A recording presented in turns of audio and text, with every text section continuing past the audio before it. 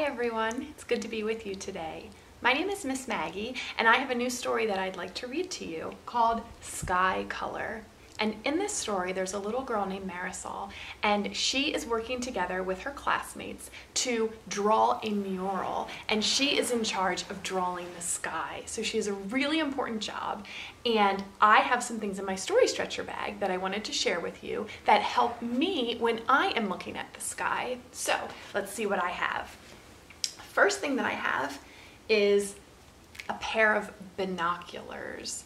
And binoculars are a type of glasses that you can use to help you see things that are far away. They're like little telescopes for your eyes. So you put them up to your eyes like this, and you can look out and you can see things that are really far away and they look very close up. So binoculars are great if you wanted to go hiking or go looking for birds or doing something outside during the day to help you to see things that are far away. The other thing that I have to share with you can't fit in my story stretcher bag, but it is another thing that you can use to help you see and it is a telescope. So a telescope is something that can help you to see the sky, but it is used for um, viewing things at nighttime. And a telescope is another type of glasses that you can use to see things that are really far away. But a telescope is used more for seeing things like maybe the moon or the stars that are in the sky. So you would use a telescope at nighttime and you can put your eye up to the glasses that are here. And when you peer in and you have it pointing up you can see things that are really far away. So binoculars and telescopes are two different tools that you can use to help you see things that are far away that are in the sky. Today, I wanted to take a look at some things that you might find in the sky during the daytime and some things that you might find in the sky at nighttime and sort those ideas. And I wanted to show you something. This is called a Venn diagram. And a Venn diagram is two circles that overlap. And you can put your ideas or things that you want to sort into your circles. So we're going to work on this together today, where this part of the circle we're going to put all of the things that you might find during the day in the sky in this part of the circle and all of the things that you might find in the nighttime sky on this part of the circle. And this part right here where the two circles overlap is going to be where we would put things that you might see during the day and during the nighttime in the sky. So let's take a closer look so we can work on this together. Okay, so here's a closer up picture of our Venn diagram. And Venn diagrams are really great learning tools that you can use all of the time. You can use, um, you know, you can use them with whatever kind of circles that you might have. Maybe you have like two pairs of hula hoops at home, or maybe you just want to take string and you can create two different circles and then you can sort maybe your toys or your clothing or anything around your house and you can choose the rules and then you can sort them. And it's really fun to use Venn diagrams for a different way for learning. So let's take a look.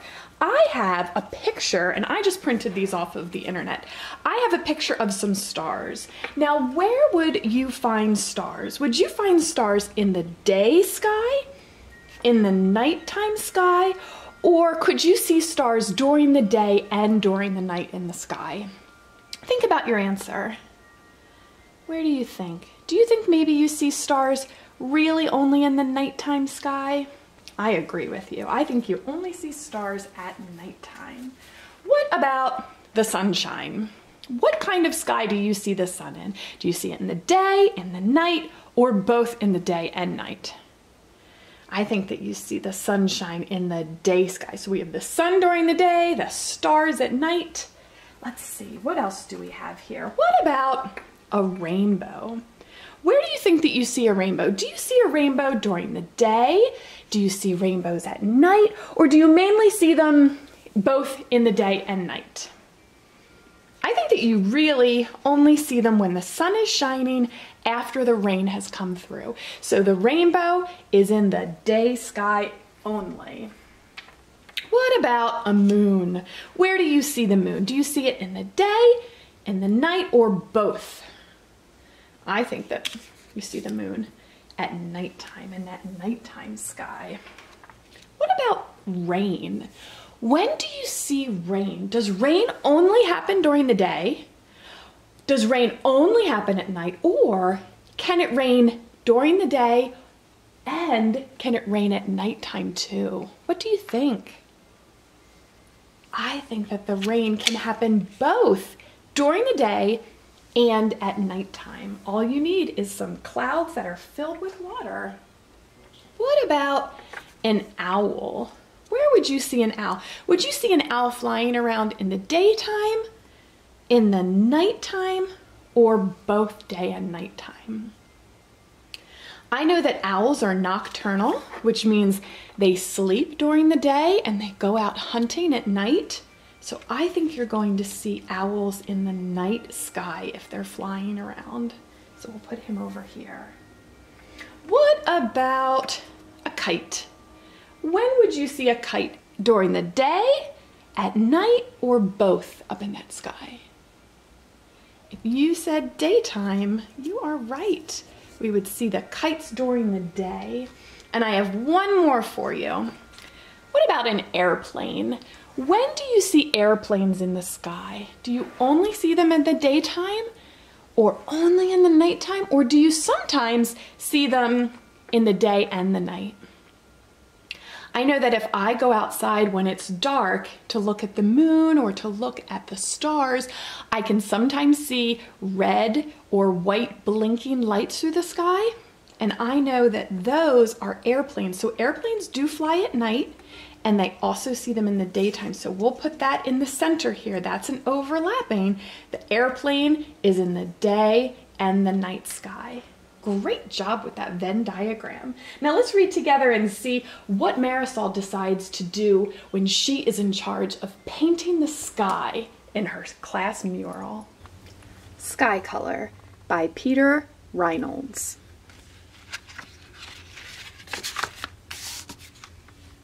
Sky color. Marisol was an artist. She loved to draw and paint, and she even had her very own art gallery. Not all of her art hung in a gallery. Much of it she shared with the world. She painted posters to share ideas she believed in. At school, Marisol was famous for her creative clothes, her box of art supplies, and her belief that everybody was an artist. Yes, Marisol was an artist through and through.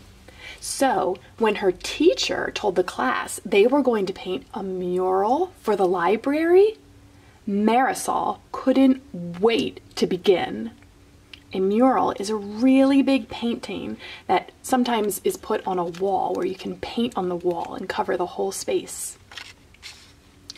The classroom buzzed with the sound of brainstorming. The students talked and sketched. Together, they made a great big drawing. Then they marched to the library. I'll paint a fish. I'll paint one too. I'll paint the ocean. Marisol shouted, I'll paint the sky. Marisol rummaged through the box of paint, but she could not find any blue.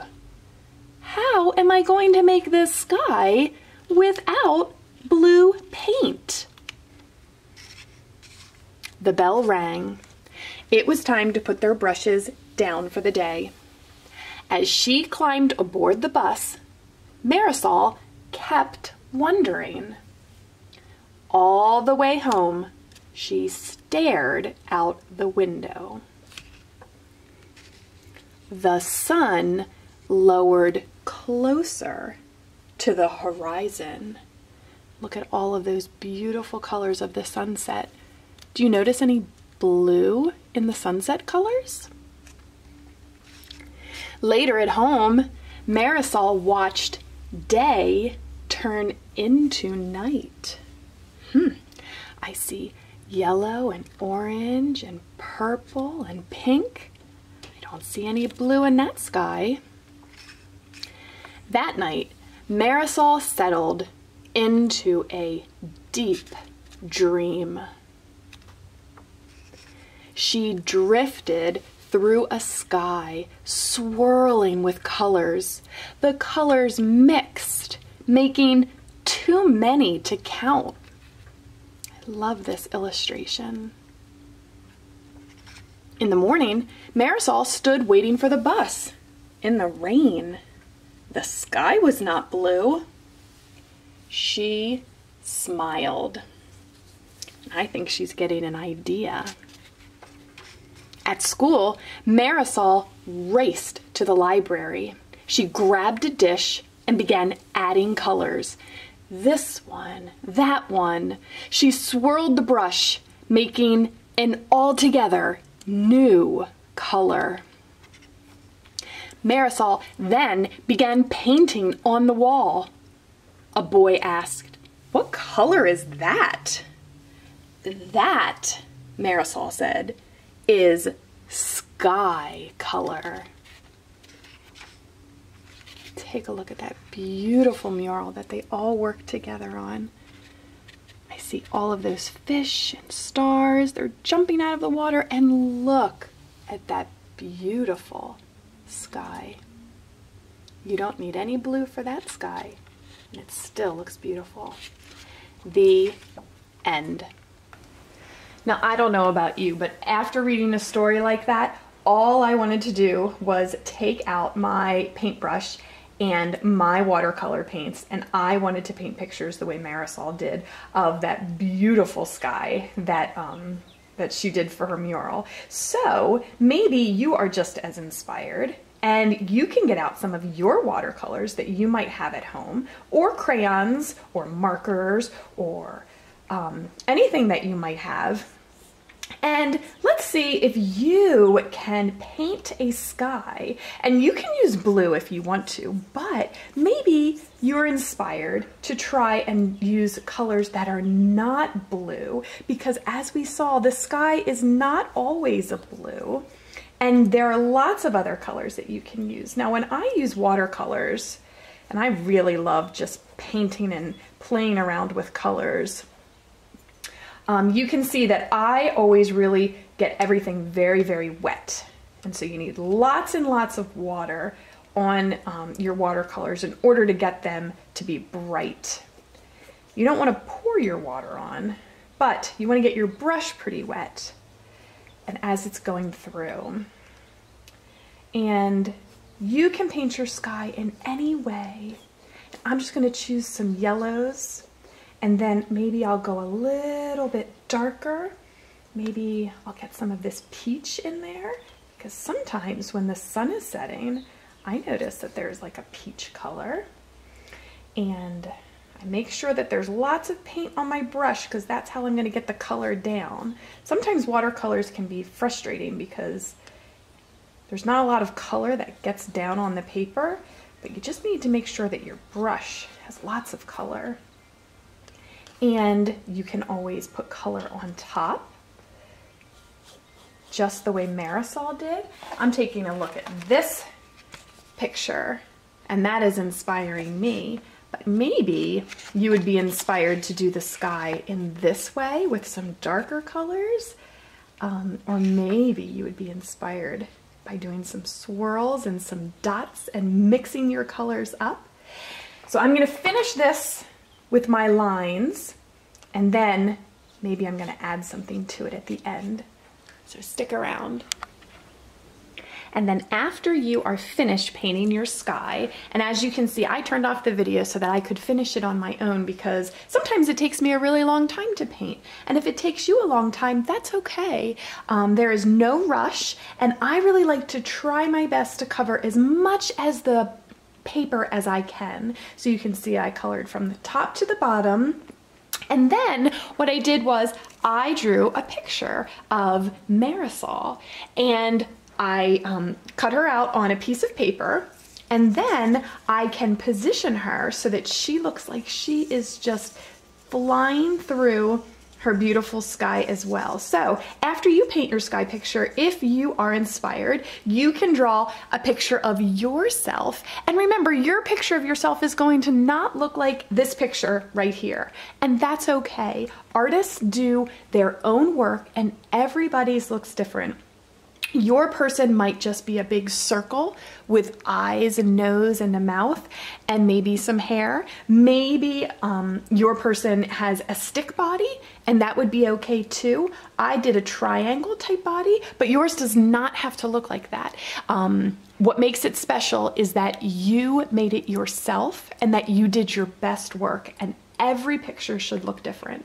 And so if you want, you can either position your um, person to however they want to be. Maybe they're flying through sort of the way Marisol is flying through in this picture. Maybe you just want your person upright because they're just enjoying the sunset um, or the sunrise or the sky or whatever you have.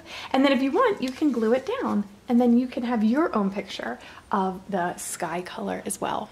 I hope that you keep experimenting and playing and learning at home and having a good time and I'll see you again soon.